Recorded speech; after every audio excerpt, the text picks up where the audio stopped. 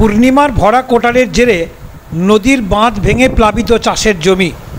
সোমবার সকালে ঘটনাটা ঘটেছে দক্ষিণ চব্বিশ পরগনার গঙ্গাসাগরের মহিষমারি গ্রামে। এদিন সকালে কোটালের জেরে জোয়ারের জলের স্রোতে ভেঙে যায় হুগলি নদীর বাঁধ। বাঁধ ভেঙে যাওয়ায় এলাকায় ঢুকতে শুরু করেছে সমুদ্রের নোনা জল। নদীর বাঁধ ভেঙে চাষের জমি প্লাবিত হওয়ায় ইতিমধ্যেই আতঙ্কিত হয়ে পড়েছেন মহিষমারি গ্রামের কয়েকশো পরিবার। গ্রামবাসীদের অভিযোগ, আমফান থেকে ইয়াস। একের পর এক ঘূর্ণিঝড়ে বিধ্বস্ত হয়ে পড়েছিল মাটির এই নদী বাঁধ। বেশ কয়েকবার এই বাঁধ মেরামত করার জন্য স্থানীয় পঞ্চায়েত থেকে বিধায়ক সকলের কাছে বারংবার আবেদন করার পরেও কোনো রকম সুরাহা হয়নি। আজ সকালে জোয়ারের জলের তোরে প্রায় দুই কিলোমিটার নদী বাঁধ ভেঙে যায়, যার কারণে চাষের জমিতেও সমুদ্রের নোনা জল ঢুকতে শুরু করেছে। গ্রামবাসীদের আরও অভিযোগ, রাতে পূর্ণিমার কোটালের জেরে আরও বেশি সমুদ্রে জলস্ফীতি দেখা যাবে, যার ফলে চাষের জমি থেকে শুরু করে গোটা গ্রাম প্লাবিত হওয়ার একটা বড়সড় আশঙ্কা রয়েছে।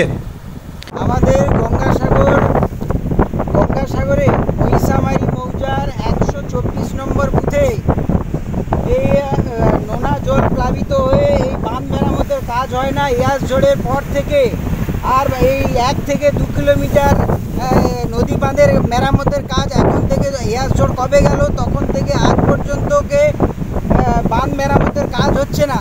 পঞ্চায়েত সদস্যা বারবার দেখে যাচ্ছেন এবং পঞ্চায়েত সদস্যার বাড়িও এই সমুদ্র উপকূলবর্তী এরিয়াতেই একদম নোনা জলের পুরো জলটা উনার বাড়িতেও যাচ্ছে। উনি দেখতে পাচ্ছেন জানি না প্রশাসনিক ব্যবস্থা কবে নেবেন কি ব্যাপার। সম্মানীয় সদস্যা এবং পঞ্চায়েত প্রধান উপপ্রধান সবাইকে সম্মান জানিয়ে বলছি। আর আমাদের যে এমএলএ বিধায়ক মহাশয়, বঙ্কিমচন্দ্র হাজরা মহাশয়, আপনার আপনার দৃষ্টি আকর্ষণ করছি। আপনারা এই এক দু কিলোমিটার বাঁধ মেরামত করুন। আর আমাদের কমসে কম দুশো বিঘা জমি, দুশো বিঘা জমি যে নোনা জলে প্লাবিত হয়ে গেছে, ধান চাষ তো কিছুই হলো না। আর কোনো কিছু হচ্ছে না অতএব এই যাতে বাঁধ মেরামতের কাজটা হয়ে যায় আপনি আপনার দৃষ্টি আকর্ষণ করছি আপনি একটু করুন দেখুন প্লিজ আপনার নাম? আমার নাম কৃপা সিন্ধু দাস মহিষামারি একশো চব্বিশ নম্বর বুথেই আমার বাড়ি। মহিষমারি গ্রাম পঞ্চায়েতের সদস্য কাজল মণ্ডল জানান রাজ্য সরকারের সেচ দপ্তরের বহুবার আবেদন করা সত্ত্বেও কোনো সুরাহা হয়নি। বহুবার তারা পঞ্চায়েতের তরফ থেকে নদী বাঁধ সুরক্ষিত করবার জন্য একশো দিনের কাজের মাধ্যমে নদী বাঁধে মাটি ফেলেছেন।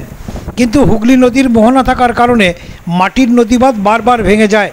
আপাতত গ্রামবাসীরা রাজ্য সরকারের কাছে একটি স্থায়ী নদী বাঁধের আবেদনও জানিয়েছেন। সব মিলিয়ে আতঙ্কে দিন কাটাচ্ছেন মহিষবাণী গ্রামের কয়েকশো পরিবার। সেফিল টাইমস।